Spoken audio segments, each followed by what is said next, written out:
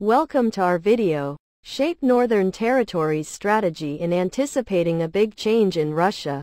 I would like to focus on the commentary, July 4, 2023, by Mr. Kenro Nagoshi.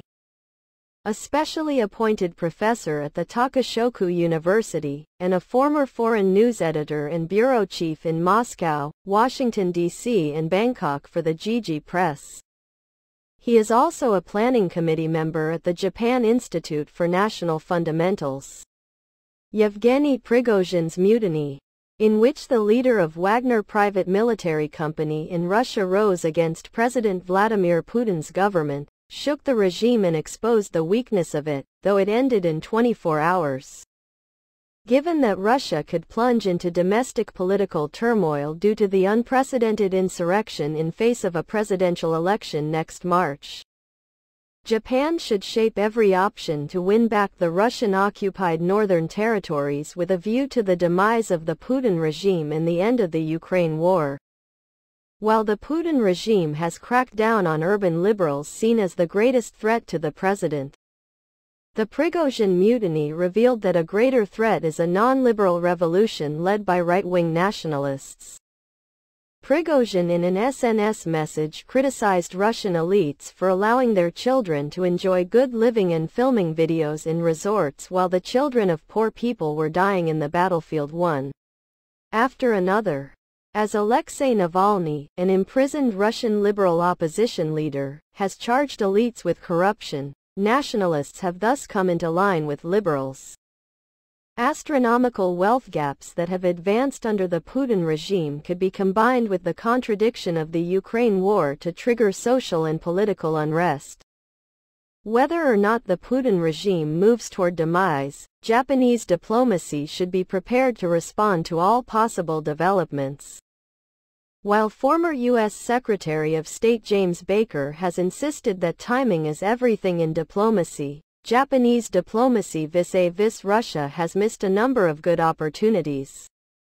Accumulating failures. President Mikhail Gorbachev of the former Soviet Union made his first visit to Japan in the last year of his presidency.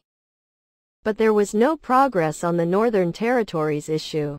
Prime Minister Ryutaro Hashimoto negotiated with President Boris Yeltsin of the newborn Russia during Yeltsin's second term. But the Russian leader's political base was already weakened. Prime Minister Shinzo Abe was eager to conclude a peace treaty with President Putin. But Shinzo Abe efforts failed due to the Putin regime's transition to a big power chauvinism.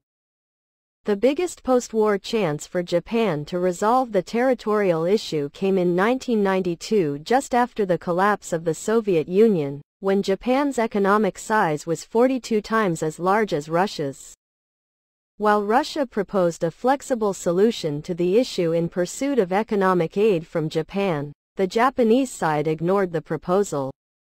The Japanese Foreign Ministry's poor diplomacy that failed to read trends and aggressively take advantage of good chances could be said as having invited subsequent chaos over the territorial issue. A new good chance may come with the end of the Putin regime or during a post-war arrangement of the Ukraine war. Unless responses to such event are contemplated now, the failure could be repeated. The foreign ministry reportedly plans to increase the number of diplomats by 20% from the present level to 8,000 by 2030. Unless the ministry achieves progress toward resolving key issues including the Northern Territories issue and North Korea's abduction of Japanese citizens. It may not get Japanese people's understanding about the personnel expansion.